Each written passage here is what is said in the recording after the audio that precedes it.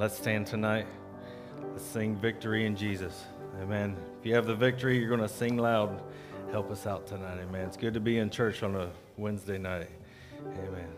Well, I heard an old, old story how a Savior came from glory, how he gave his life on Calvary to save a wretch like me. I heard about his groaning, of his precious blood's atoning. Then I repented of my sins and won the victory. Oh, victory in Jesus, my Savior forever. Sought me and he bought me with his redeeming blood. He loved me ere I knew him, and all my love is to him. He plunged me to victory beneath the cleansing flood. I heard about his healing, of his cleansing power, revealing how he made the lame to walk again and caused the blind to see. And then I cried, Dear Jesus, come and heal my broken spirit.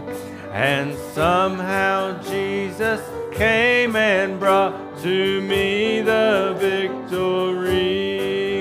Oh, victory in Jesus my Savior forever. He sought me and he bought me the mean blood. He loved me ere I knew him, and all my love is to him. He plunged me to victory the cleansing flood. And I heard about a mansion he has built for me in glory. And I heard about the streets of gold beyond the crystal sea, about the angels singing and the old redemption story. And some sweet day I'll sing up there the song of victory. Oh, victory in Jesus, my Savior forever. He sought me and he bought me with his redeeming blood. He loved me ere I and all my love is to him. He plunged me to victory beneath the cleansing flood. Amen. Let's sing Sweet By My, same key. And there's a land that is fairer than day, and by faith we can't see it afar. For the Father waits over the way to prepare us a dwelling place there in the sweet by and by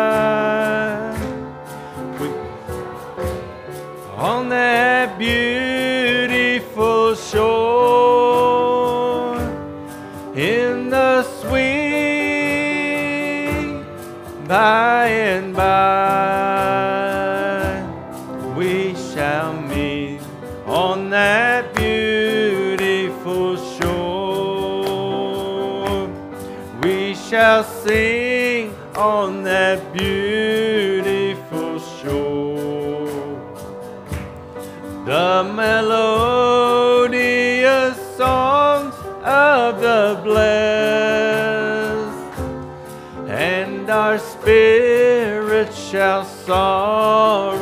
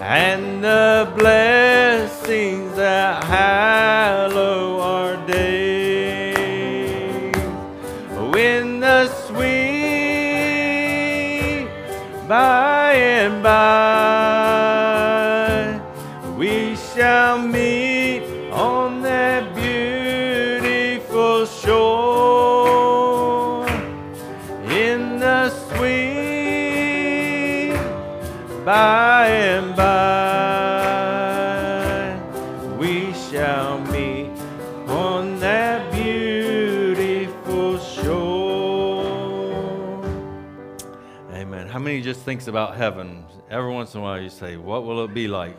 Amen. I can't wait. Uh, It's just around the corner. Amen. Just hold on. We're almost there. Amen. Amen. Stephen if he get ready to open service in prayer. We don't have any written requests um, before us. Brother Edward did mention that his his uh, wife did get approved for her visa, so it all went through smoothly. So he did want to praise the Lord for that. Amen.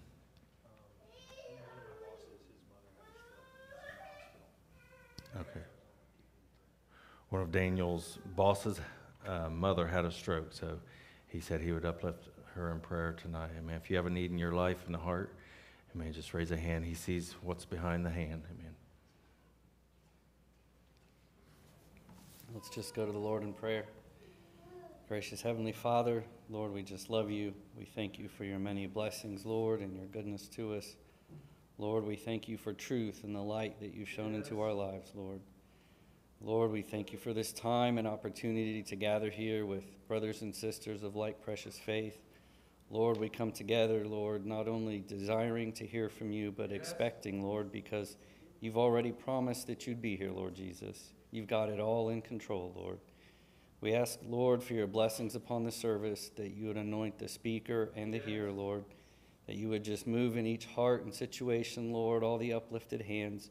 Lord, you know all about it, yet you've asked us to come to you as little children in prayer, Lord, and we just come lifting up everything, Lord. We pray for Daniel's boss's mother, Lord, that whatever the situation there, whatever her condition, Lord, we just ask for your grace and mercy and that you would move, Lord. And we're thankful for the testimony for Brother Edward's wife, Lord, and just look to see her here reunited with him.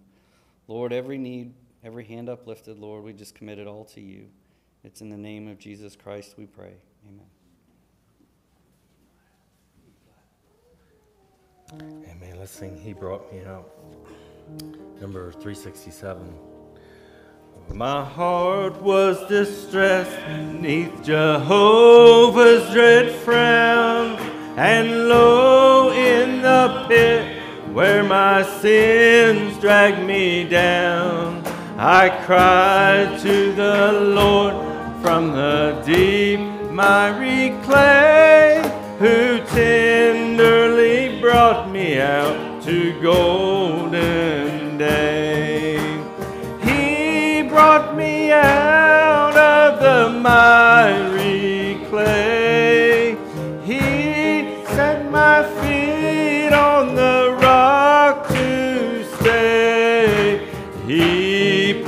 a song in my soul today, a song of praise, hallelujah. He placed me upon the strong rock by his side. My steps were established, and here I'll abide. No danger of falling while here I remain, but stand by his grace until the crown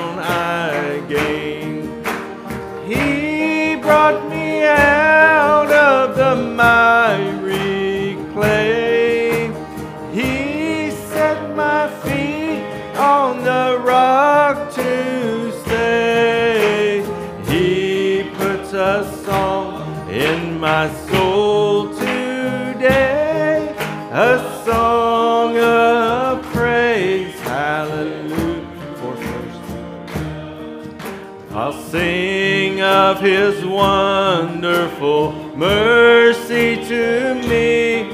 I'll praise him till all men his goodness shall see. I'll sing of salvation at home and abroad. Till many shall hear the truth and trust in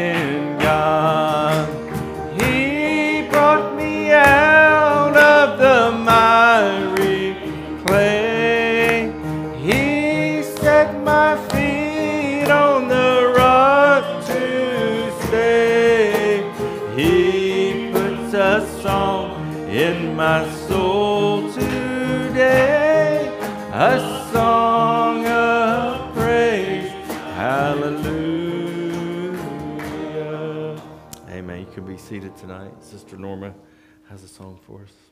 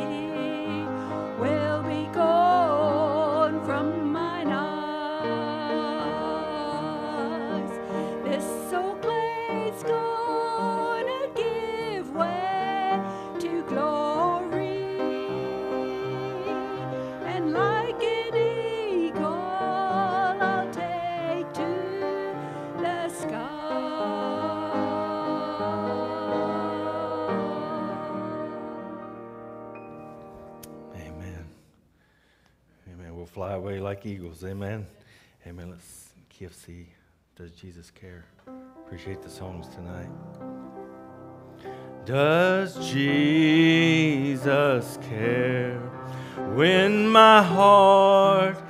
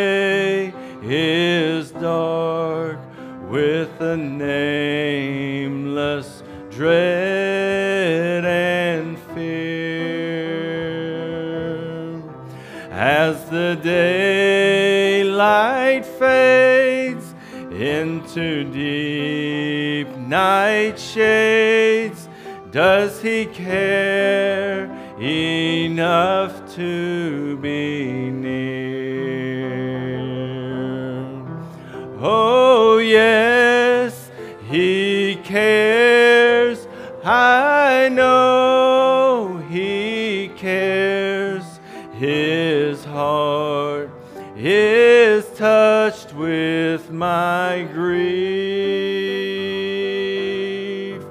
When the days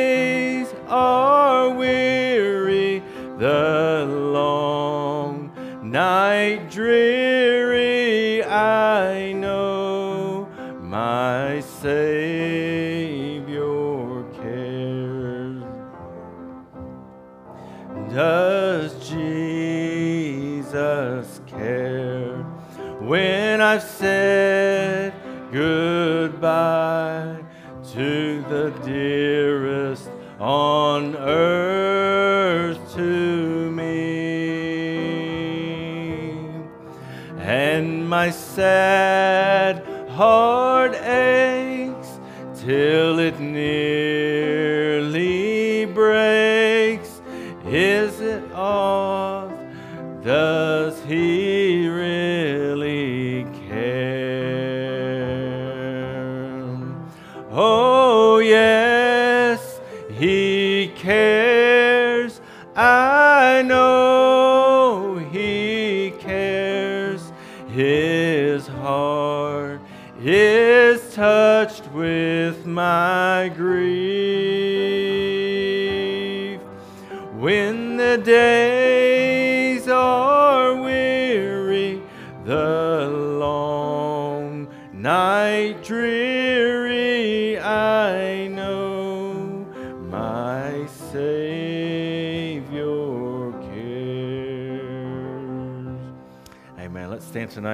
Brother David.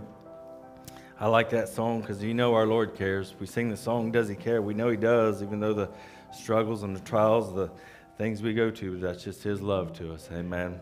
Amen. Let's go to Kiv F. I just want to thank you, Lord. And I just want to thank you, Lord, for letting me hear your word. What have I done to deserve such glory revealed in me? Thanks for that special night when I saw your glorious light, came face to face with eternal life, And Lord, I thank thee. Didn't have to open my eyes. You could have easily passed me by. For the age I was living in was wretched, poor, and blind. Then I heard, recognizing your day, serpent seed and perfect faith, the breach and the message of grace. And Lord, I thank thee. And I just want to thank you, Lord, for letting me hear your word. What have deserve such glory revealed?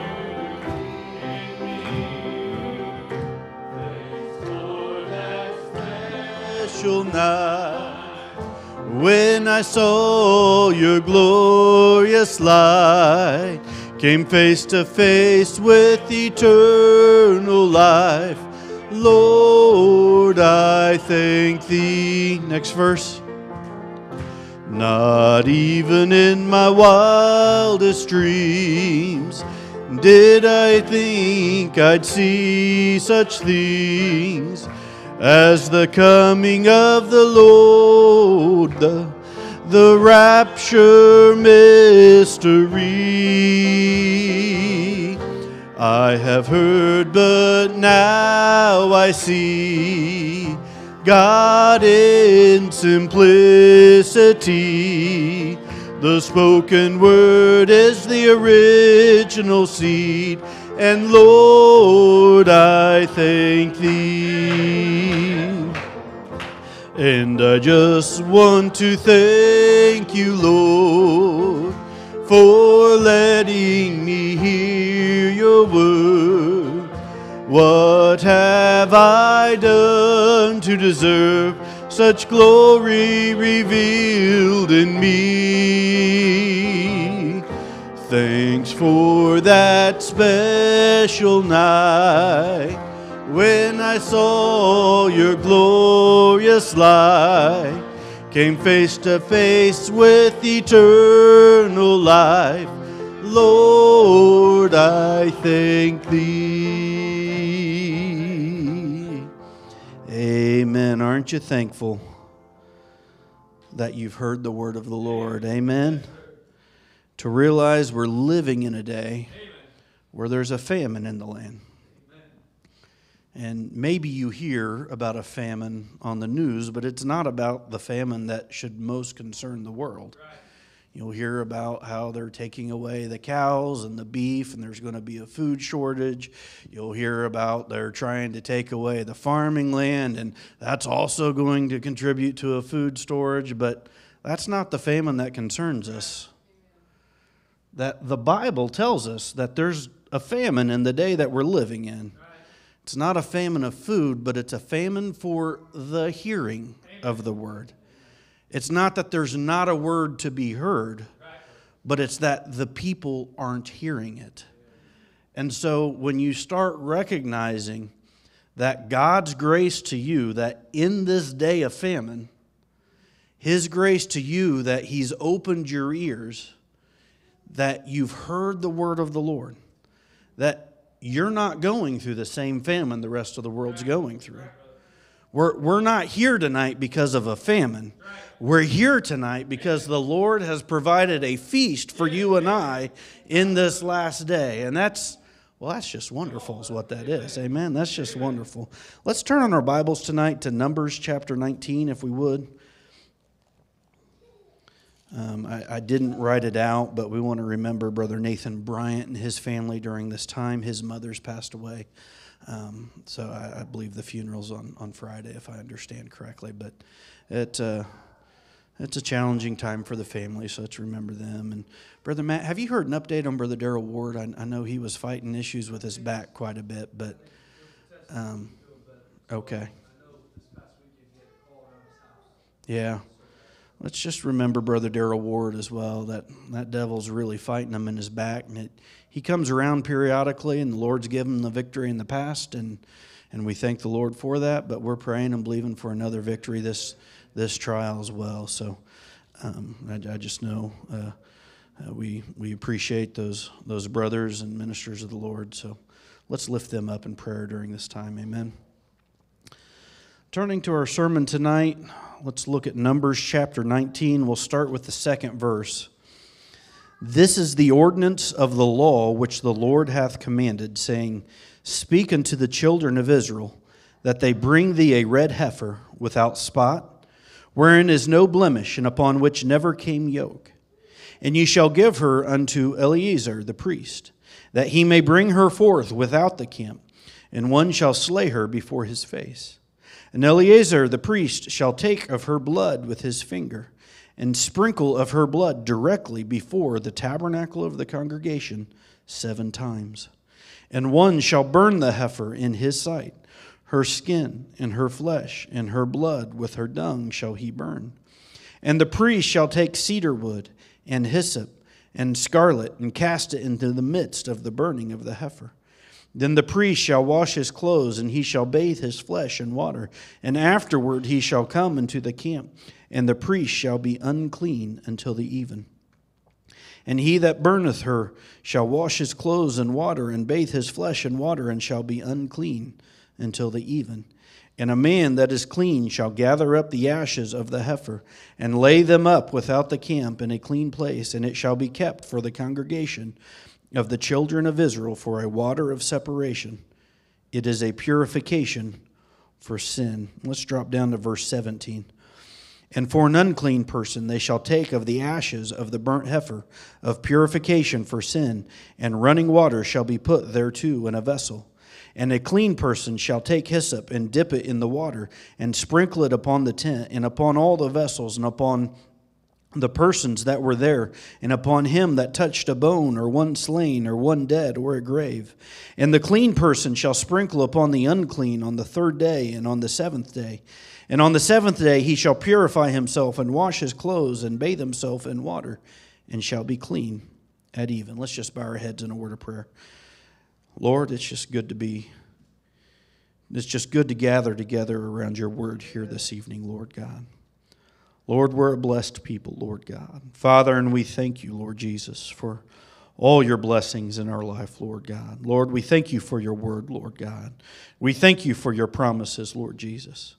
Lord, may your spirit just come down tonight, Lord God, and quicken your word to each one of us tonight, Lord God. Lord, it takes you to give the understanding, Lord God. It takes you to give the revelation, Lord Jesus. Father, may each one, Lord Jesus, just listening here tonight, Lord God, Father, help us to humble ourselves, Lord Jesus. Help us just to, uh, just. Uh, Lord, just to get, get past ourselves, Lord God, and just focus on you. Just focus on your word, Lord Jesus. And Lord, what, what you've already done and what you're even now doing amongst us, Lord Jesus. Father, make it real to us tonight, Lord God. Father, we, we need more of you in our lives, Lord God. Lord, we want to draw closer to you, Lord Jesus. Father, may you just move in a mighty way amongst us tonight, Lord Jesus. Father, and may you have your perfect will and way. In Jesus Christ's name we pray. Amen. You can be seated this evening. We want to stay on the theme of the Eden condition, the Eden condition, and and uh, I, I, believe we're we're going to be here for for a little bit. There's there's just a lot there's a lot to this, and you, you know it. I, I I don't know what else you would want to study, quite frankly. Um, that I, I don't know what else you would want to to read about or learn about, but I, I, was listening to a message today, and, and or I was reading a message today, and Brother Branham referenced that that contest. I think it was up in in Canada that there was a, a, grocery store, a general store or something. I think it was put on a contest for for any of the the young boys in the community that that if they could take their bike and if they could ride across a board uh, uh, for a certain certain distance, just a, a small board, if they could ride their bike all the way across it, then there was some prize at the end. I don't remember if they got a new bike or I don't even remember what the prize was. But, but uh, they, they, they, you know, all the boys came and, and, you know, all the big, strong boys and all the, the athletic ones and the talented ones, they, they thought they just had it in a lock, right? They just, they, they just, oh, they, they just assumed it was there. They just assumed they could do it. They, they didn't necessarily take it that seriously or prepare or, or try to concentrate. They, they, they, just, they just tried to do it. And they'd, they'd get up, and you know, the first one, he, he fell off to one side. And the next one, he fell off to another side. And, and you know, one after one, they just keep falling off to one side or the other, one side or the other. And, and finally, the, the, it's uh, Brother Branham called him a sissy boy said it was one of the it was a sissy boy in the neighborhood. He was he was weak. He didn't have uh, maybe that much substance to him but but he gets on his bike and he rides and he rides it all the way into the end. And nobody'd really taken notice of this boy and, uh, until he gets all the way to the end. And suddenly everybody's surrounding him. Wow, how were you able to do that? Uh, we've seen this one fall and we've seen this one fall. And, and time and time again that nobody's been able. How were you able to do it? And the boy said, Well, here's what it is. He goes, I saw when you guys were trying to go across it that you'd get your eyes on this over here. And next thing you know, you fall off on that side. Or the next one, he got his eyes off on, on this thing over here, and, and next thing you know, he's fallen off on that side. He goes, What I did is I just focused on the very end. I just focused on the final culmination of this journey. I just focused on what the very end was, and I just rode slow and steady and just stayed focused on what the end of, uh, of this was. And he goes, That's how I was able. That, that he didn't get drawn off by distractions one way or the other way. And uh, we live in an age of distractions. We, we live where the devil He's got power, but he's got no real authority on our lives. He doesn't have any authority on our lives whatsoever. But what he can do is he can get you so distracted that you'll actually lose sight of the victory in your own life. That, that you can get so you'll get distracted on this over here and oh it just burns me up oh i just can't take it or or you'll get you'll get distracted on this thing over here. It might be something in the world. It might be something in the church. It might be something in your family. But what happens is you get so focused on that difficulty or that trial. You get, you get so focused on, on how things are going bad or how things aren't working out like you thought they were going to work out. You get so focused on even on your expectations that you lose sight of what God's word has actually already told you the end of our journey is. That, that we're not here tonight, nobody's here tonight wondering, well, I wonder what this is all about. We know what this is all about. Now, now you know you, you, you go back even a hundred years and, and maybe you could say, well, I, I don't know how, how wide the revelation, they knew there was a heaven. But what was heaven like? There, there'd been nobody over there to see that. Oh, sure, there's been people down through the ages that maybe they have a dream. But it's hard to have a whole lot of confidence in a dream if you don't have a divine interpreter of the dream there. Because, I mean, we've, we have dreams, and sometimes they're just crazy dreams. There's nothing spiritual or divine about them at all. That, that you know, and so somebody comes, oh, I had a dream. It's like, well, that's good. But does it line up with the word? Does it not line up with the word? That, that you know, there was still a, a, a mystery about what life after this dimension was like. That we knew that, that we uh, passed from death unto life, that we knew that the scripture clearly said that, that once this earthly tabernacle dissolved, we've got one already waiting. And I was listening to a message, it's 1954, so I, I, I didn't double check. I believe this is before he goes beyond the curtain of time. But, but he'd, he'd had dreams of when hope had passed away, he'd, he'd had dreams over there, but it's not the same thing as a vision. Dreams are dreams. They're just that. They're dreams. And if they're helpful and give you strength, praise God for the dream, right? But but you know, a, vision is something different. You you listen to Brother Branham talk about those visions, and and, you know, I, I don't know. It's just something as I was listening to him talk about it today, it struck me a little bit different what he was really saying, because you know, a, lot of times when I hear him talk about it, how, you know, you're in both dimensions at one time, and he goes into the subconscious and the conscious being real close and right there together. And I don't really know what that means, right? I, don't know what a conscious or a subconscious is, right? Quite frankly, I, don't understand it. And, and so you listen to it, but always before in, in my mind, I kind of pictured it like if it were a comic strip, right? That, that you know, you'd, you'd see the picture of Brother Branham standing there behind the pulpit and then there'd be that little thought bubble. And, and then you'd see up in the air that little thought bubble or that cloud, and, and there he would see the vision. But what Brother Branham was saying goes, well, no, it's what I'm looking at is it's just right here in front of me. He doesn't say he's seeing it projected up on the screen in the air. He said he's actually in that dimension or in that reality, that, that he's in both the dimensions. Or now I don't know what that's like. The, the closest thing I have experienced is, is uh, uh, I, have had a few, uh, I don't know if you call them waking dreams or where I'm not quite all the way asleep and not quite all the way awake. That, you know, uh, uh, one of the, stories my wife and I still laugh about is shortly after we were married, we were, we were in the house and it was just it, it was Uh, it had a lot of room for improvement, in the house at that time. So, I mean, there had been coons living in there before we bought it, and they brought in fleas, and man, they treated it and whatnot. And before we moved in, Stephen helped me go over there. We ripped out all of the carpet. So, it's just the, the slab floor on the main level, it's just the wood subfloor upstairs. And, and you know, just the, the bedroom that was in the best condition, that's where we, we set up the, our, our bed, that's where we stayed. Like, it, we had the bedroom, we had the kitchen, and we had one one bathroom, and everything else was under some form of destruction or, or construction, however you want to look at it. That, that you know, it was, it, it was uh, some humble beginnings. And, and, and, you know, we're, we're up there, and of course, she's moved away from her family and left her, uh, like she's up here, and, and you know, she, uh, uh a, a lot's changing for her. And anyway, we're, we're sleeping at night, and suddenly I wake up uh, uh, and I grab her and I go, Oh, honey, we're sinking. Now, this is just the middle of the night. She's, she's in a dead sleep, and I just grab her and shake her. We're sinking.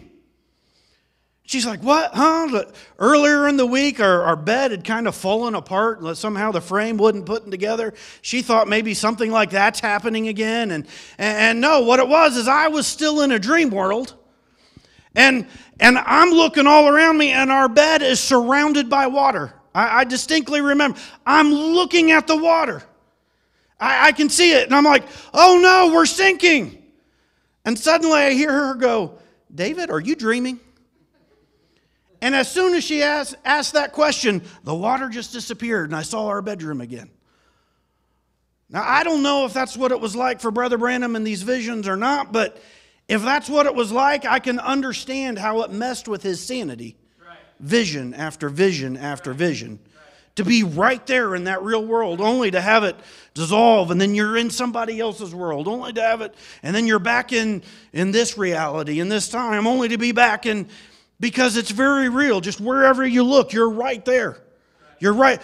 It, it just, uh, I don't know, it just became a little more real to me. But anyway, we've had a prophet that that, you know, because that gift was in his life, that the Lord then took him beyond the curtain of time, that he was, he was over in that, that sixth dimension. The, the Apostle Paul went through something similar, so much so that he's like, I don't know if it was a vision or not. I, I it might have been a vision, but I might have been in this body or I might not have been in. I don't know. It was very, very real. That when Brother Branham went, went through this, he's like, I don't know if it was a vision or not a vision. It was so real that he was there. That this was no longer just a dream, but this is that prophetic gift operating in his life. And he's touching people and hugging people. They're real, that he's going, now I understand what the scripture is talking about when it says this earthly, if this earthly body's dissolved, we've got one already waiting. That, that you know that there's that perfect theophany body, that it brought a revelation and an understanding. It was already written in God's word. I mean, the story of Saul seeing Samuel by, by that witch, that, that's always been in the Bible. It's not like Brother Branham inserted that in there. It, the, the story in the book of Acts where they're praying for Peter to be released from prison, and Peter comes, knocks on the door, and they're like, oh, uh, it's Peter's angel. They, they believe more in the angel of. Now, in all of these likenesses, it's the actual person. The, the, uh, that they were so convinced that Peter knocking on the door was the angel, that the likeness is the same. The, the perfect body, that theophany body that God has for us, has so much a likeness to our body that when you're in that age range of 18 to 21, where wherever you're at your best, you look so much like that theo- that you can get them confused. They look that much alike that this earthly body, it's just a vision or a foretaste of what God has in his mind for you. And this is, this is where we, we've got to recognize that God has a perfect plan or vision for our life. Now, we don't like this flesh body a lot of times. You know, I, am about 5'8. Now, I, I don't know of a young man in here that didn't want to be at least six foot growing up. There's still part of me that's like, five eight's good, six foot would be better. Like just, just a few more, in, I don't want to be too tall, but six foot, for some reason, I don't know why, that, that's like a good height. Not too short, not too tall. Five eight, it's kind of on the short side. Uh, nobody com- confuses me with being a tall person. They're like, when we go to take group pictures, it's like tall people in the back. No, David, you need to stay in the front. And, and we, we have these attributes of ourselves that, if we're not careful, we don't like. And it can build complexes. It makes us uncomfortable around other people. That, that you know, it's like, oh, I just wish this was different. But when God pictured you in your perfection, He pictured you like you are now. That, that five eight, that's God's vision of perfection for me. Now, who am I to argue with the mind of God? To recognize that a lot of the things that we let bother us in this life, God's going, I don't know why you're worried about that. You're created in the image of God. You're fearfully and wonderfully made. Stop worrying over your natural outer appearance and just let me shape you into the image that I have always envisioned you to be. Because God has a vision of you. God has an idea in his mind that there was a, a thought that was you that was in his mind before the foundation of the world. And, and, and you know, you, some of us had blonde hair, some of us had black hair, some of us had brown hair. I don't know that anybody had green or purple or pink hair. You don't see that. That's why I'm not a fan of dyeing your hair a non natural color. That God had this vision of you. Why would you want something different than the vision that God has of you?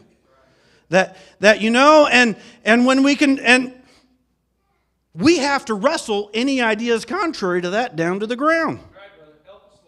We have to, wrest now, I don't believe he envisioned you to have one arm or missing a leg or that I don't believe he did that at all. That humans have two legs and, and two arms, and, and, and you know, and every one of us over there, that, that if there's something in this life, in this dimension, that's happened to, to take you away from that, that just means there's something to be restored in your life. That, that, that's why Brother Branham, he often said it jokingly, but he's like, I've not lost a single one of my hairs.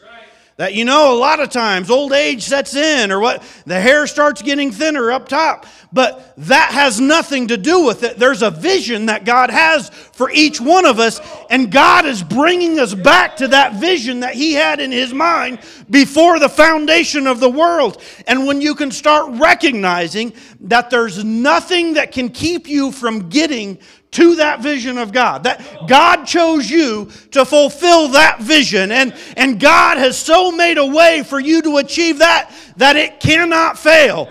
That we've got to, uh, but what we can do is if we get distracted with this over here or this over there, we can impede it from working in our life like God wants to. Even right now, God would do uh, so much more in our lives if we could just stay focused on Him and His vision.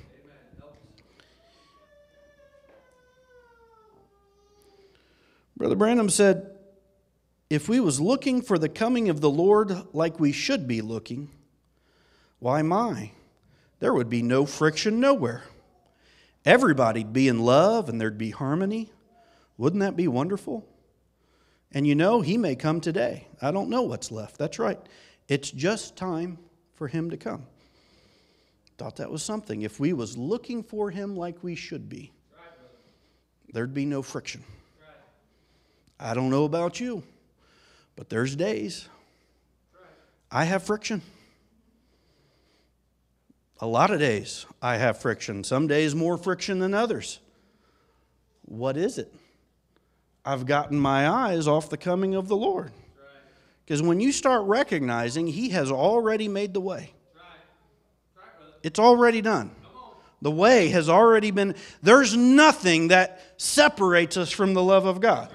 There's nothing that, that can prevent us from entering into heavenly places in Christ Jesus. That the way has been opened.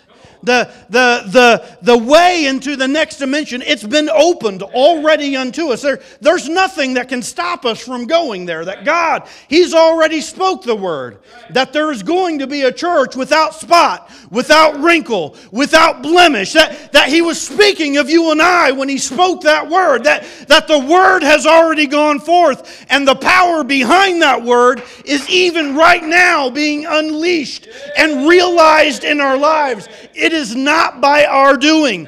It is not by what we have done. It's not by the natural things that we do on this earth. It's by the grace and love of God and the blood that He shed on Calvary that has opened up the way for you and I. We're just walking. We're just walking in His Word. We're just walking in the light of His Word. That, that He's already opened up the way, He has already made the way. We're not having to figure things out. You say, but I don't understand how I'm going to translate from this dimension to the next dimension. We don't need to worry about the how. He's already proved it can happen. Jesus died, He went down to hell, He rose again. 40 days later, He ascended up. Where do you, He didn't just, He's not in orbit in outer space out there. He ascended up and translated into the next dimension. He, he's already changing back and forth between dimensions. He's already, that's how he's walking through walls. That's, he, he's already done it. And when, when you're born again and baptized by the Holy Ghost into his body, you are a part of him. And that same ability is now yours. That all he is heir to, you are heir to. We are joint heirs with Christ Jesus. The authority over this earth and over the natural things, that authority has been restored to you and I. You say, but I, I, I, I don't know how to do that. I don't either. The best part about it is we don't have to understand the how. We just have to walk with him.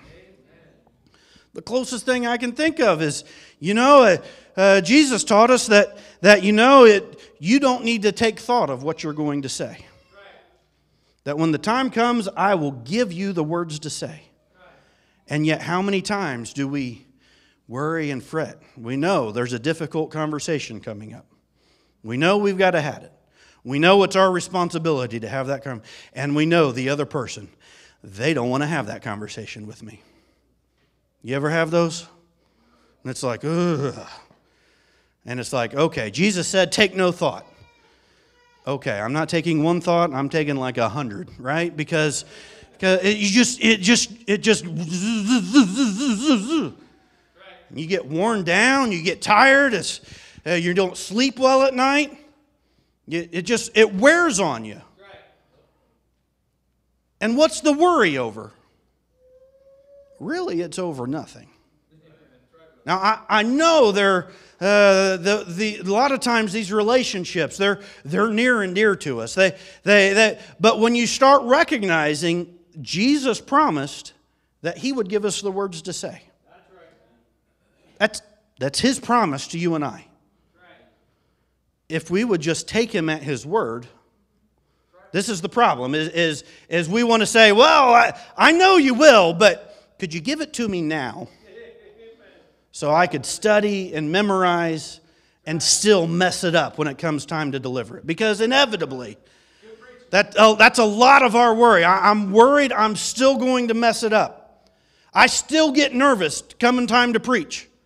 Now, I know the Lord's promised He'll give the words. I know the Lord has promised the inspiration. I, I know all of this. And I've even experienced it multiple times. Okay, Lord, that, that was not me tonight. That was clearly, that's not the direction I was going. I want, and, and I, I can see the, the power and grace of God just come in and, and give a direction or give words that I had absolutely no thoughts to say. I've seen this time and again, and yet I still get nervous when it comes time to preach. It's like, well, could you just give me, ideally, a bullet point outline completely, at least 24 hours before I preach, that I could, you know, kind of study, and that would be that would be really nice. But the Lord doesn't always do that. And you know, I, I still love it. Uh, I don't remember which message it was. It was a I think it was a questions and answers on, on, church order or something like that, that some of the deacons had asked Brother Branham to, to, to sit down. On. It, it wasn't like a normal church service. This was, this was just deacons. And, and Brother Branham, he's just taking questions and going through things. And, and I don't even remember exactly what the question was, but what always, I, I think it had to do with speaking in tongues and the interpretation thereof or something like that. But, but Brother Branham, he starts going into, but it, it takes God to give the revelation. It takes God to give the understanding. And somebody asks Brother Branham and goes, Well, what about if you try to say something and you don't think it comes out right? But you know, you come back later and find out, no, they understood exactly what you was trying to say. And Brother Branham goes, Oh, sure, he does that lots of times. Do you know, speaking in tongues at, uh, at, at, the book of Acts, the upper room, that, that it was every man in his own language, right? Every man heard in his own language. They, they didn't even speak Hebrew. And, and Peter, he didn't speak all the other languages. And yet, he just, Peter didn't have to go, okay, y'all hold here. Let me go spend time learning five other languages, and I'll come back and I'll speak and I'll do my own interpretation, and then y'all can know what, what the message of the day is. That, that Peter didn't have to do that. Peter just had to walk with the Lord. He just had to follow the inspiration that God, and Peter just gets up and says, This is that, that the prophet Joel prophesied. That he just starts preaching away. He's not worried about whether they can speak his language or not. And the entire time that, that God is with each listener going, interpreting for him and, and they're all going man how does this guy know greek? And wow how does this guy know persian? Or wow how did they're hearing him in his own language. That, that if god can do that with different languages how much more can god do that even with the same language? That, that what brother branham said in that question and answer is oh sure the lord does that a lot. That we can try to say something and yes we're going to mess it up. It's going to be broken. We'll, we'll be disjointed. We'll start and stop and start and stop and oh it can't get going. It, but when you just try when when you just speak what you can when you just give what you have to god God can take that little bit and He can give the interpretation to the person, and they will hear what they need to hear. It's not by your power, it's not by your ability, but it's by the power of the Holy Ghost in your life. That, that it's not our ability, that, that this Eden condition has nothing to do with our abilities. It is all about the power of the Holy Ghost in our lives. And we just have to learn to walk with God. Just we've got to stay studied up. We've got to pray. We've got to make sure we're searching our lives and keeping our lives clean. I can't go watch, watch movies or play video games or read fiction books all week long and then just show up to church on Sunday. Well, Lord, I need the inspiration. I, I'd never have any faith whatsoever that the Lord would bless. Why? Because I've not been doing my part. I've not been studying. I've not been reading my Bible. I've not been. Pre- I, I, I can't have any confidence. But when you recognize the power of what Jesus has already done, that it placed you as a son or daughter of God, that when you're doing your part, you can have absolute supreme confidence that God will fulfill his part in your life. That as long as you're. Do- it, and it's not about your natural ability. Maybe you stutter. Maybe you can't organize thoughts. But when you just give what you have to God, maybe the best you can say is, I love the Lord and it's a good day. But if you say that to the right individual at the leading or prompting of God, God can take that and deal with that person's heart. That it might not be a, well, John 3.16, and you quote 50 scriptures to them. That's what we all want. It's like, well, here, let me give you a Bible, and now let's walk through it together, page by page, the entire Bible. That, that, that's what we want, but that's not always the way God works. I don't, I don't know that I could go page by page for the entire Bible. But when you just follow the leading of the Lord, sometimes it's those little comments or those little that when you relate how you do things in your home or how you live your life, that your love for the Lord just starts coming out. And it's different. It's different than the rest of the way the world lives. When you can say, Oh, I, don't know how it's going to happen, but I've been praying about it, and I think God's going to work it out for me eventually. Oh, I, don't know how the healing is going to come. The doctors are really kind of confused. They don't know what they're doing. They're just running test after test after test. Thank the Lord I've got good insurance to pay for it, but the doctors aren't where my hope is anyway. I, I've prayed about it. I've, I'm in obedience to the word. I know. I am already healed. How? I don't know how. I just am. That's what God says. When you talk like that, that's going to get people's attention. You see that God's not asking you to, you know, pull lightning from heaven and strike people over the head. He, he's just asking you to be you and trust Him. Just be you and trust Him. That, that that's what God really wants from us. That, that when He died on the cross, He died to set us free, that we could be ourselves. Because well, that you know, we were born in sin, shaped in iniquity. We were born under a sin debt, and we couldn't we couldn't overcome that. We had no way to, to deal with that. I, I, I don't know why, but Josiah was actually thinking of, uh, of you, and I, I was trying to think this this plan of redemption. But I, I was thinking, you know, just, I know Josiah really loves guns and he loves hunting and he loves shooting. I, I, but if he were to ever get in financial difficulty, he might have to sell one of those guns. He could sell it to a pawn shop, and then he's going to be without that gun. And it's going to be hard for him and his family. He, he, he hunts, he, he, not only does he actually love the gun, but, but he depends on it to bring in food for the family and, and, and whatnot. That, that without that, there's going to be a little bit of suffering involved.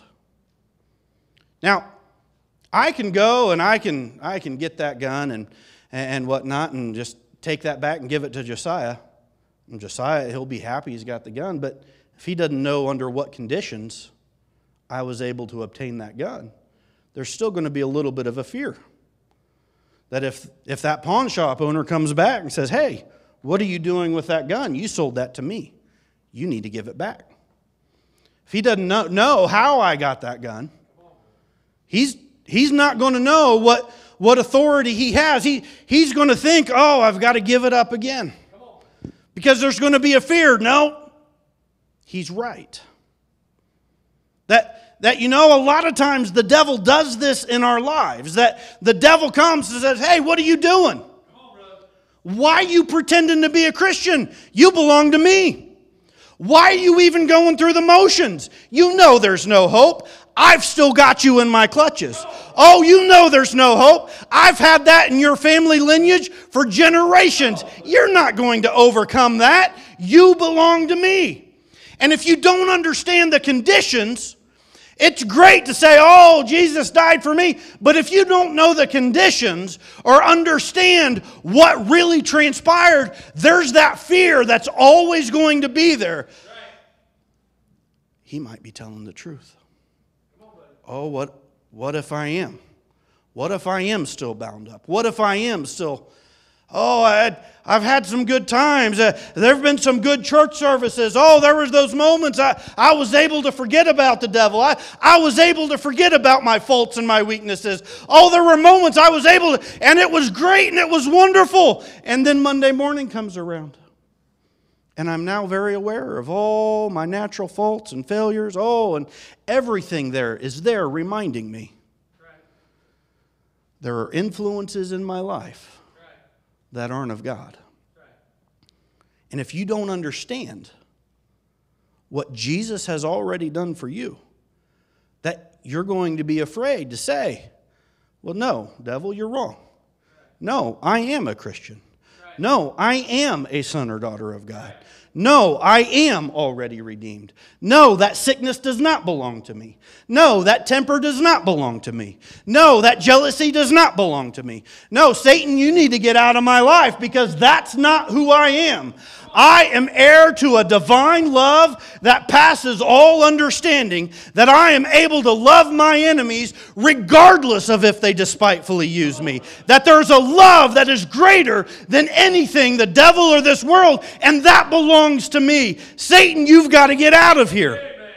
If you don't understand that Jesus has already paid the price, if you don't understand that all of the conditions, that give the devil right to your life, it's been taken care of. You're not going to know where you stand. Now, if Josiah, I give him the gun and I say, no, I, I've, I've paid the price.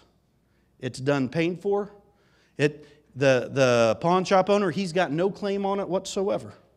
You, you can use this, it doesn't matter who's around. This now belongs to you because I paid the price and I'm giving it back to you. Well, then the fear is gone the fear is gone. Where we struggle a lot of times is we lose sight of what Jesus has actually already done for us. We have lost sight of what Jesus has already given to us. That when Jesus died, it, it wasn't just paying over some money. It wasn't just, it wasn't just about paying the, the, the debt off that was over our life. Because it, you know, he can forgive our past sins. But what about tomorrow? Right. I know me. I know my weaknesses. Right. I know how I. Ha- I'm going to trip and fall again. I've got no confidence in my own abilities. Right, I've fallen on my face way too many times. Amen. How can I overcome this? I'm not even worried about the devil. I'm just worried about this flesh body. I'm just worried about myself. I'm going to mess this thing up. I always do. What's taken place is you've lost sight of what Jesus actually did for you on Calvary.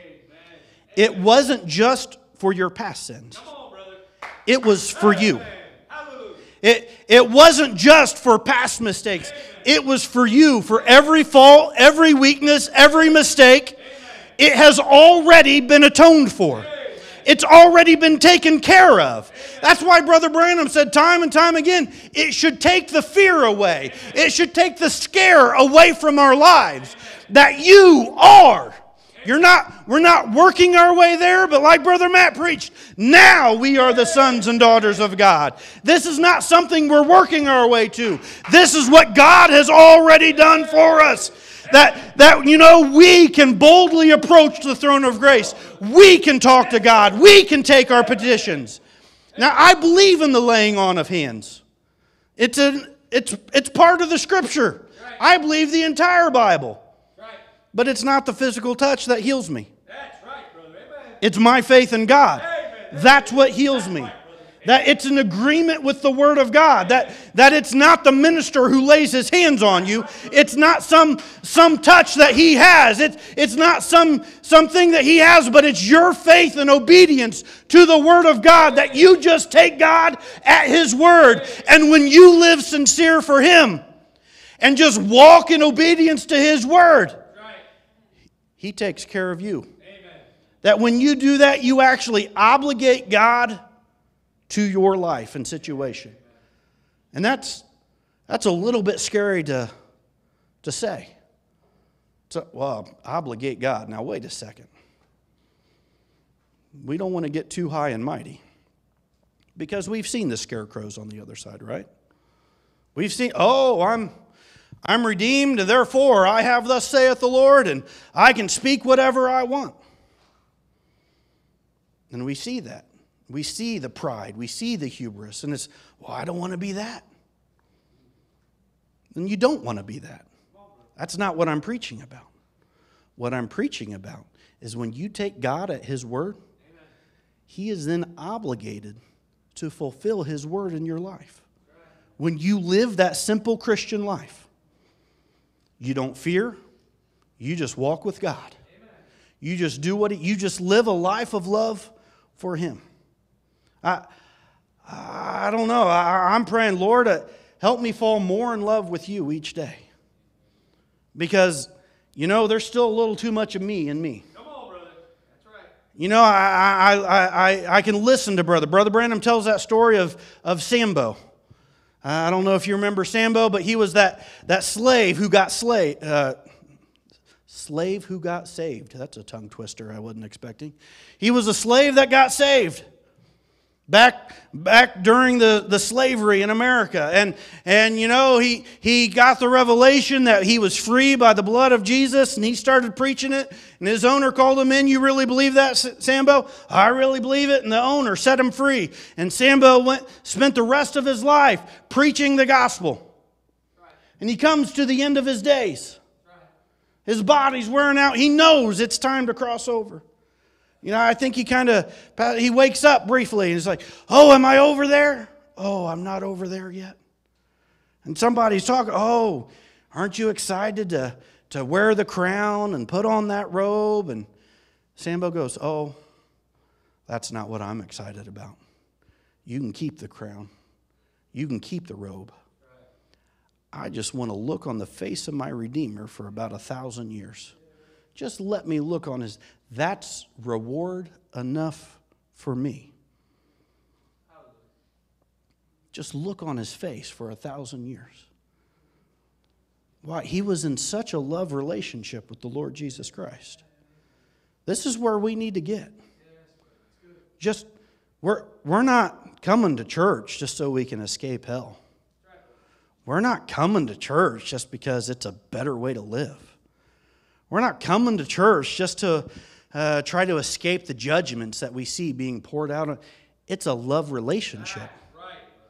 We come because Jesus said he was going to be here. Amen. He said, Where two or three are gathered together in my name, I'll be in the midst thereof. Amen. Doesn't matter how you feel, it doesn't matter how you think the church service went. If you meet those conditions, he's here. Amen. You may not recognize him, but he's here. How many times is he right in our midst and we just simply don't recognize him? But when we start taking God at his word and say, Lord, I, I may not see you, I may not feel you, I, I don't know how you're moving, I, I don't know all the ins, outs, or, or what ifs, but Lord, uh, I'm just taking you at your word and you say you're here, and Lord, I need you right now. And, and when you can just take him at his word and say, Lord, I, I'm just going to wait on you, I know you're here, but but it's all in your good time. Amen. Because the, uh, Jesus redeemed us that we could fulfill his vision for our lives. It's not about us fulfilling our vision for our lives. And this is where, man, we want to speak squirrels into existence.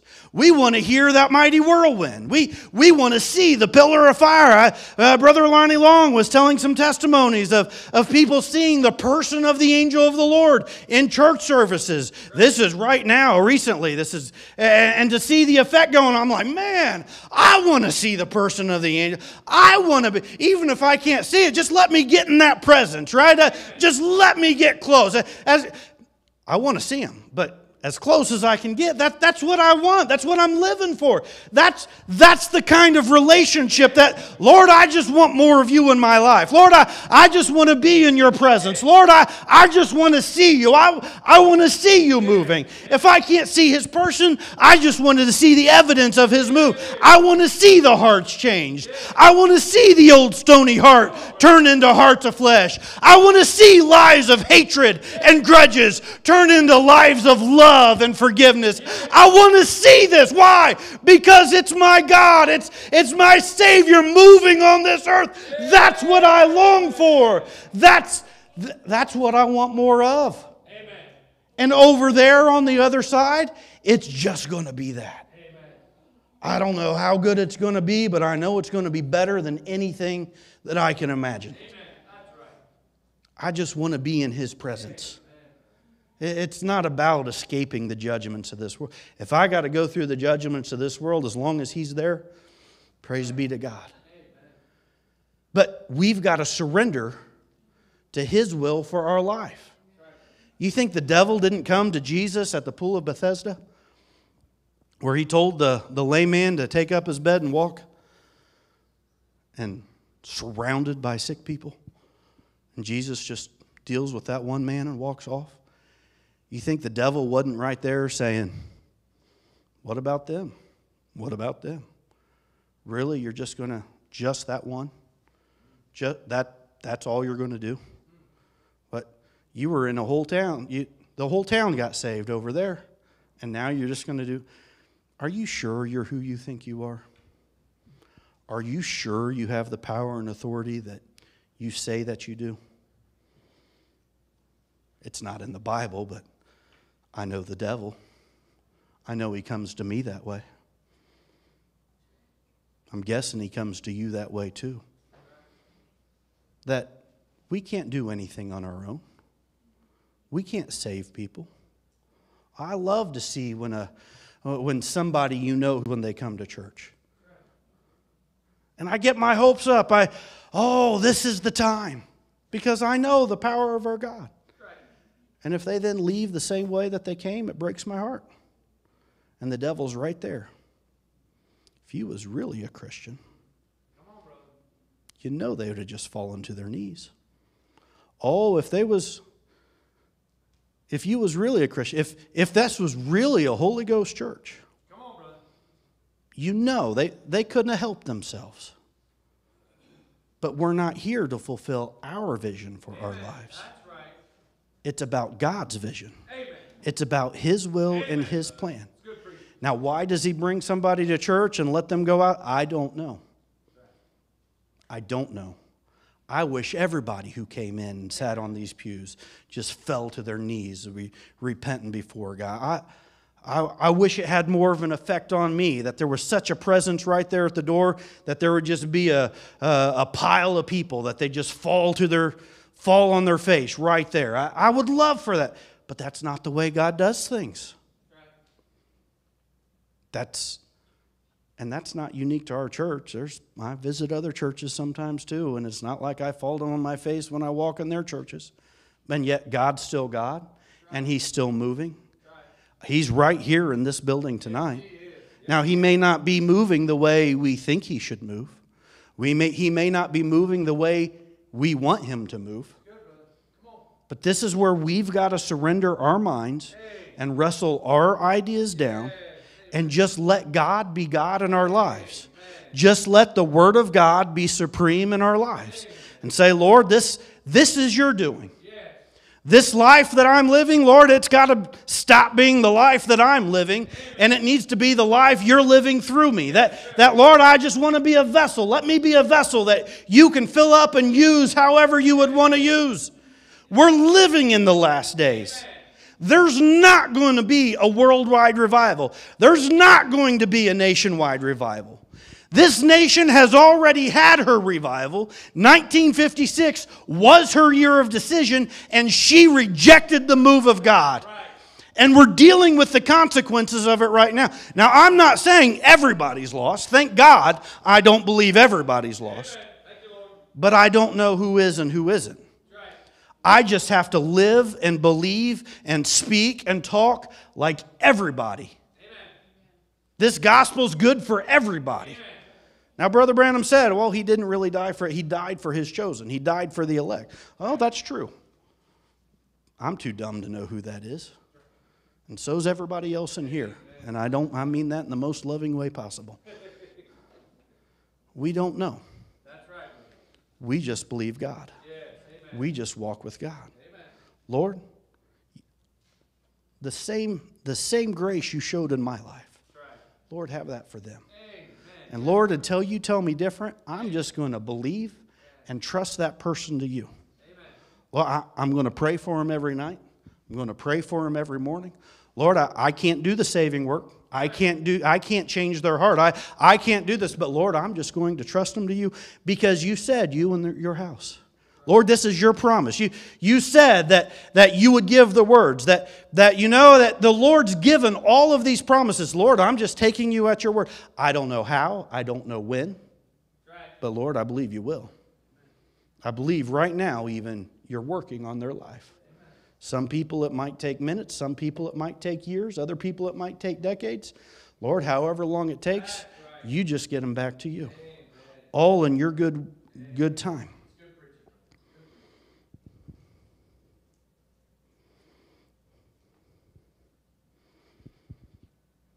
Looking here at this, the subject of the red heifer and the waters of separation, that, you know, Brother Branham, he, he he, he took a, a couple of sermons on this, and other times he just kind of mentions it in passing. But I just looking at this that, that you know, God, God made a way. That, you know, God always, always has a way to escape his judgment before his judgment comes. That, that, you know, you, you even go back to the Garden of Eden when, when judgment first started being poured out on this earth that, you know, Adam and Eve both fell, they both sinned. And yet, before God dealt with them, he slew the lamb, shed the blood, and, and covered them with those bloody lambskins. And then he started dealing with them. Why? Because without that covering, they could not stand the judgment. The judgment of God is real. And we know it's real. That we, we, you, nobody has to tell you, is it real or is it not? We know it's real. We, we know there's just something about it. We know that we're not living up to our potential. We know we hate our faults, we hate our weaknesses. Right. We know that, that this ain't right, that there's a better way, that there's a better life, that, that you just inherently know that. But you've got to recognize the preparation or that the, the, the sacrifice that separates you from the judgment. That sacrifice has already been made. Adam didn't have to go out and slay his own lamb. God provided the lamb. That for you and I, we don't have to go out and make our own sacrifice. God has already provided the sacrifice that we have need of. And, and when the judgment started being poured out in the Garden of Eden, God never cursed Adam. He cursed the earth, he cursed the serpent. Judgment was being handed out, but it never came on Adam. Now, Adam's suffering because of the judgment. We're all suffering because of the judgment. But the curse was never against Adam, the curse was never against you and I. It was never against you and I. You see, God knows who the responsibility lies with. He knew it belonged on that serpent. So much so, it's not even recognizable today. It, you, you listen to, to Bible scholars, they, they think it was a snake. Oh, snakes can talk. Or some of them even have the revelation that it must have had legs, and so they've got some little dragon lizard looking creature speaking to Adam and Eve. They don't understand just the depth and profoundness of the curse that God handed out in the Garden of Eden. The serpent looked like you and I, walked upright on two legs, could talk, could reason, could think like a human, but he had no soul. It was just a beast of the field. The curse was so profound that it completely changed its form, changed its skin, changed, not even the same creature. That, but the curse was never against you and I, and yet Satan tries to make you think the curse is against you and I. The curse of God, it's against us.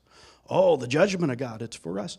The judgment of God was never intended for you and I. It's real, but it's not for you and I. That before God ever starts pouring out judgment, He provides that lamb sacrifice to stand between you and the judgment so that the judgment never comes against you, but that blood separates you from the judgment of God. And, and that when you start recognizing that sacrifice is already there, the blood is already there, then you don't have to fear the judgment. That, you know, I, I think about the children of Israel that, that here the, uh, they, they've slain the lamb, they've, they've applied the blood to their doorpost. The death angel has gone through. Death angel doesn't even touch them. And they're marching out to freedom. And they get the Red Sea on one side, the, the Egyptian army on the other side. The pillar of fire there, it actually moves and stands between them and, and the enemy. Brother Branham talks about how the angry eyes of God looking down. And yet, even though it was the angry eyes of God and it was the, the judgment of God being poured down, that Brother Branham said that stick Moses had, that wasn't Moses' stick. That was God's judgment rod. That every time judgment was poured out, it was through that rod, Moses extending that rod. That it was time for judgment, but the children of Israel, if they could have just remembered, the blood had already been applied. The judgment could not be poured out on them because there was a blood sacrifice there, separating them from the judgment of God. They had no reason to fear, they had no reason to worry because there was a blood that was there separating them so God could pour out his judgment, but it could never touch the Israelites because of the lamb sacrifice. What I love about this, this red heifer and the, uh, the, the waters of separation is, is you see God making a, a ritual of purification. He says, okay, you, you've got to find a, a, a perfect red heifer. And, and it's, a, it's a heifer, it's a female cow. Typing the church says, you've got to find this and, and you've got to take it, you've got to slay it. Take that blood and you go before the tabernacle of the congregation, that there's nobody going to approach the presence of God. There's nobody going to come and worship outside that they come through this blood that it's not a different blood, but it was sprinkled seven times, signifying the seven church ages.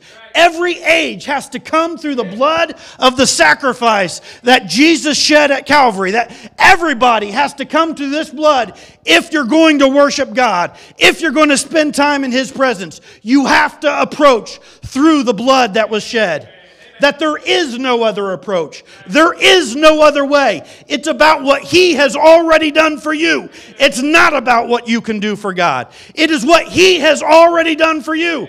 You say, but I didn't have the funny feeling, or I didn't jump, or I didn't shout. Stop looking at that. Look at what the Word of God says. That the Word of God says, He that believeth on me hath already passed from death unto life. Just take God at His Word and keep approaching the presence of God. Let God do the rest in your life. It's time we stop trying to save ourselves. It's time we stop trying to make ourselves holy. It's time we stop trying to manufacture a Christian or Holy Ghost experience and just let the God of heaven have the preeminence in our life that He can do with us whatever He wants to do with us. We have to approach through the blood. But he goes on and says, You then take that sacrifice outside the camp and you burn it. Everything, every part of it, you burn it. And then you save up those ashes. And then, at any point after that, if you come into contact with death, if death invades your home, if death comes against you, if death comes against your life, that it, it made you unclean over the, through the law. It made you unclean. You could not go and worship as long as that was contaminating your life. There was no Christian life as long as that, that you needed a rite of purification. And so, what they said do is when this happens, because sometimes this, we have no control over it, it happens. Like things that they happen in life, and we don't always understand why. But it feels like it contaminates us. It, it, it mars our, our experience. It leaves bruises. It leaves scars in our life. But there's a water of separation for us tonight. That, that, that God said, take, take the ashes of that heifer and you you take that and you you take a, a, vessel and you mix it with running water and and let this be a rite of purification. Let let let you be sprinkled with with this waters of separation. Now notice that god doesn't say you've got to go out and make a new sacrifice. That's not the waters of separation. And brother branham said this, these waters of separation it actually took the guilt away from you that even though you came in contact with death and it brought a, uh, uh, uh, it made you unclean, that it, when you came through the waters of separation, when you came all the way through, it completely takes the guilt away from your life. That the waters of separation for you and I, it's not some physical ashes of a cow that was burned, but rather it's, it, it's, it's, and what those ashes were, it was a remembrance of the sacrifice that had already been made. That that, that sacrifice bore the full judgment of God in your stead. That the full power and judgment of God was poured out on the sacrifice, and you deserved every bit of it. But when you can come and recognize that, no, I, I've been made unclean, and, and just by faith in what He has already done for you, that you can take that and just by confessing your faults and failures and believing in the sacrifice that Jesus made of Calvary, it brings a separation in your life and it separates the guilt, it separates the shame. That that this is what God has already done. And after you can, now you have to apply it. That somebody couldn't come out and touch a dead body and just say, oh, well, I know there was a heifer that was burned and it was for me. Oh, I know there are ashes in the water, and I know that. That wasn't enough. They had to humble themselves and approach the high priest, and they had to go through the ritual. Now, it's not about the water. Today, our water, it's the washing of the water of the word. It's the preaching of the gospel. It's, it's the message going forth. And when we remember the blood and what Jesus has already done through us, through the preaching of the word. Now, if you don't remember the blood, the preaching of the word, because the word brings judgment. The word will bring a judgment. And everybody goes through judgment. We either go through judgment now, or we're going to go through it at the great white throne judgment in the, in the life to come. That, that everybody goes through judgment. But when you go through judgment now and you keep your eyes on the blood that Jesus shed, that the blood that makes you now a son or daughter of God. Amen. Because if you lose sight of that, you'll hear the preaching of the word and it's going to bring condemnation in your life. Thou shalt not lie. Thou shalt not commit adultery. Thou shalt not lust after women. Thou shalt not steal. That it just brings condemnation. You must have the Holy Ghost. You must do this. And it'll just bring condemnation if you lose sight of the blood. Amen. But when you can recognize that the blood was shed for you, Amen. then when the preaching comes forth, you realize any, any judgment that's in that word, the judgment isn't being applied to you. The judgment is being applied to the sin or the mistakes that are in your life. And then the washing of the water of the word starts bringing a separation in your life that you are not the sin. You are not the one that made the mistake. You were the one that was in the mind of God before the foundation of the world. That it's only a fallen nature that makes the mistake. It's only a fallen nature that succumbs to temptation. And that's not who you are. And Jesus died to make you you. He died to bring a separation between you and that sin nature. And when you can receive that, When you can recognize the blood that Jesus shed, it was for you. And when you make a mistake, and you by faith you humble yourself before God and you confess your mistakes to him he's faithful and just that the blood brings a separation between you and that sin or you and that mistake and it's as if you never did it. And not even just as if you never did it but you never did it because the word of God says you never did it it's not just a well yeah I'll forgive you but it's a full justification. That Jesus came, He bore our punishment. He became the curse, the curse that should have been poured out on us. Jesus stepped into that path bore that curse, and He took that curse down to hell where it belongs. And He left it there. And then He rose again the third morning overcoming sin, death, hell, and the grave, conquering it once and for all. And by faith in what he did, to recognize that he did that for you. he did it for me. It's not just enough the, for me to say, oh, well, it was for Brother Matt. And maybe if I hang around him a lot, some of it will rub off on me. That, that's not, that's not going to bring a victorious life for you. You've got to recognize it was for you individually. That if it wasn't for anybody else in the history of mankind, it was for you.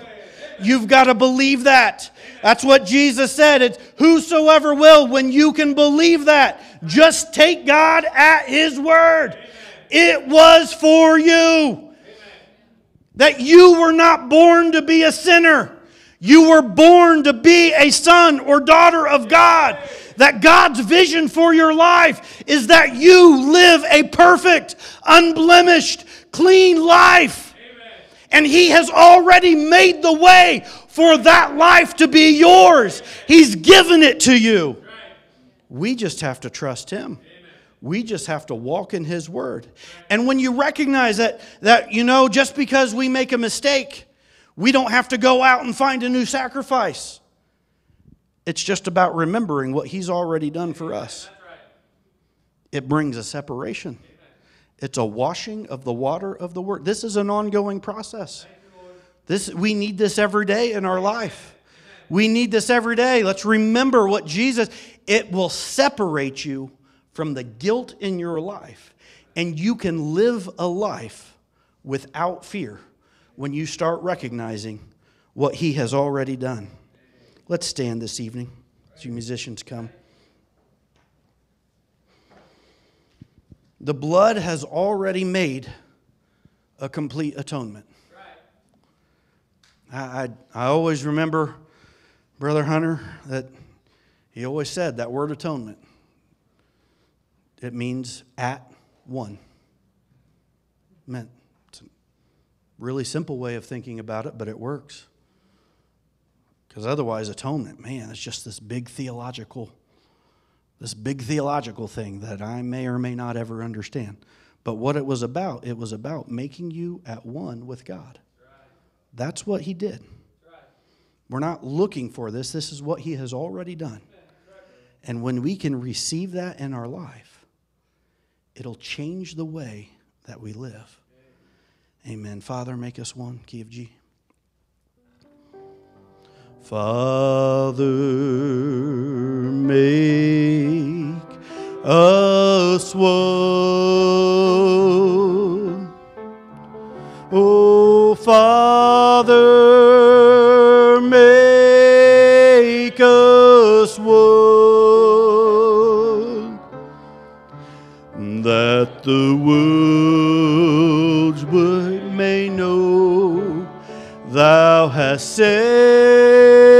thou hast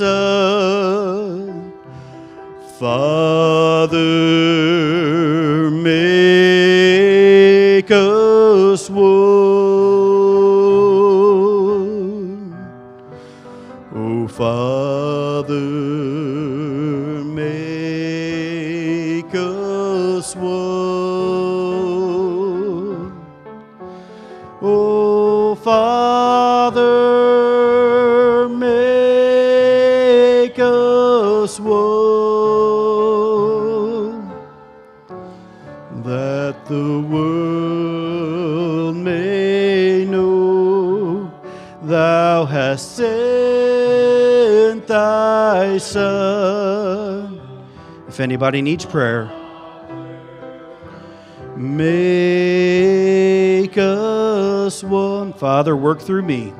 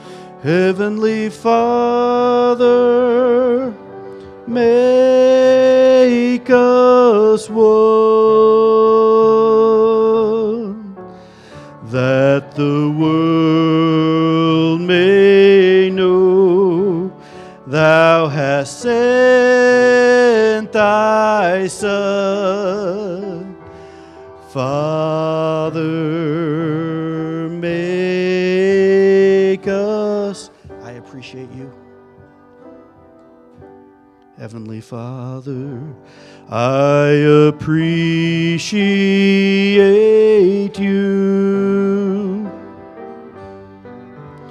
Heavenly Father, I appreciate you.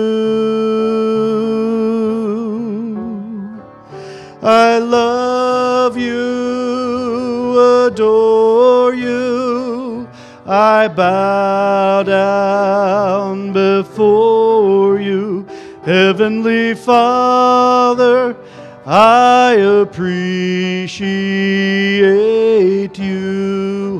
Spirit.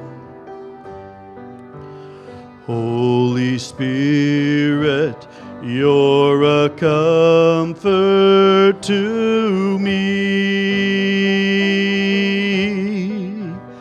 Holy Spirit, you're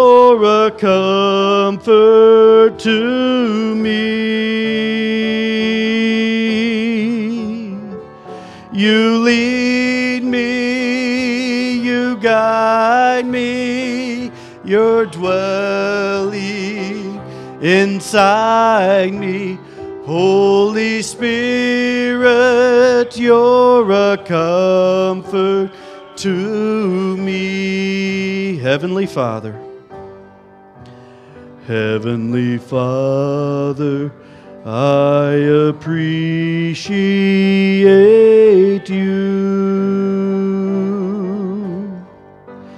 Heavenly Father, I appreciate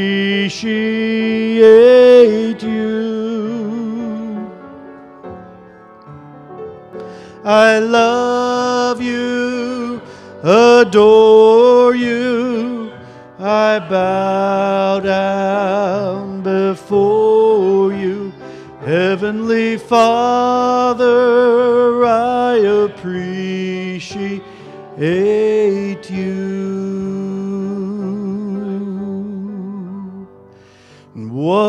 Can wash away my sin?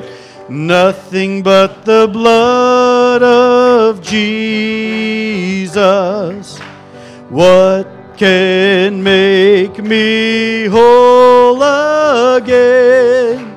Nothing but the blood of Jesus. Oh, precious is the flow that makes me white as snow. No other fount I know, nothing but the blood of Jesus. For my pardon, this I see nothing but the blood of Jesus. For my cleansing, this my plea, nothing but the blood of Jesus. Oh, precious is the flow that makes me white as snow. No other fount I know, nothing but the blood of Jesus. Nothing can for sin atone. Nothing but the blood of Jesus. Not of good that I have done. Nothing but the blood of Jesus. Oh, precious is the flow that makes me white as snow. No fount I know, nothing but the blood of Jesus. Amen. You love him tonight? Amen. He's good to us. Amen. Brother Matt, would you dismiss us in prayer? Lord, we thank you, Lord, for your word tonight. Lord, we thank you, Lord, for your presence. Lord, it's just, it's awesome to look into the word, Lord, and know that our end is, is already set, Lord. Lord, but as we're here, Lord, may we, be- may we be what the word says. May we be overcomers, victorious, Father. Lord, any thought, Lord God, that comes against us, Lord, help us, Lord, to fight that off, Lord, and stand upon thy word. God, you're quick in that word to us, Father. We love you tonight, Lord. I pray for each one that's here, Lord. Father, strengthen them in their walk, Lord. Whatever they're dealing with, Father, may you just strengthen them now, Lord. Give them faith, Lord God. Let them know that you're near, Father, and you're encourage them along the way, Lord. And as we leave here, Father, may your presence go with us. Father, may you be near to us, Father. May we feel you close, Lord God. May we commune with you day by day. Father, until we meet again, Lord, we thank you, Lord, for this message. In the name of Lord Jesus Christ, we pray. Amen. Amen. Lord bless you. I forgot to mention it, but remember Brother Hunter in your prayers right now. He's still dealing with some issues at the facilities he's staying at, and uh, now his car, he doesn't even have access to his car right now, and it's just seems like it's one thing after another for him right now, and he's he's really going through it, and I, I know it's hard on him. So if, if you just remember him in your prayers, uh, just uh, let's pray right now. Dear Lord Jesus, Lord, we just we lift up our brother tonight, Lord God. Lord, he's done so much for us, Lord, that you've used him mightily through the years, Lord God, that there's not a person here that hasn't hasn't benefited from the ministry that you've had through his life, Lord God. Lord, and Lord, now we see Satan coming against him, Lord Jesus, bringing trials on every hand, Lord God. But Lord, we know you're more than able, Lord Jesus. Father, that, that Lord, you don't allow anything in our lives, Lord, except except you know that we can handle it. Lord, may you just give him a special strength and grace during this time, Lord God. Father, may, may he just be able to keep his eyes on you, Lord God, and what you're doing right now in his life, Lord Jesus. Father, lift him up into heavenly places in Christ Jesus. Lord, give him a special blessing where he's at, Lord God. Father, and just continue to lead and guide him, Lord Jesus. Give him strength during this time. In Jesus' name we pray. Amen. Amen. Thank you. Lord bless you as you're dismissed. Oh, precious is the flow. Oh, precious is the flow that makes me white as snow. No other fount I know, nothing but the blood of Jesus. Oh, precious is the